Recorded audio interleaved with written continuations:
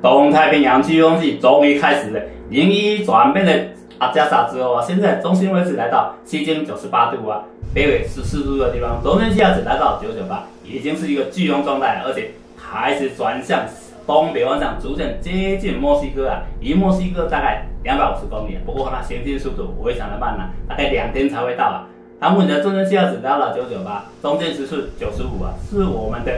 九级到十级台风的威力啊，不过它现在是热带风暴啊，明天过后它就升级成一级飓风啊，相当于我们的十二到十四级啊，而且它行走方向偏向东北方向啊，而且它所携带的风雨非常的大，有可能造成瓜地马拉及墨西哥土石流，而且沿岸的有海水倒灌进来。但是啊，它在登陆之后就慢慢减低，因为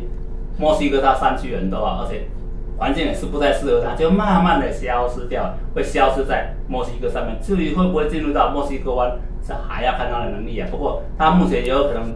到达二级飓风啊，是不是这样子？我们持续在锁定一号美国飓风阿加莎，到底会不会成为二级飓风呢？请继续收看，主持人去看一下气象看主持人，拜拜。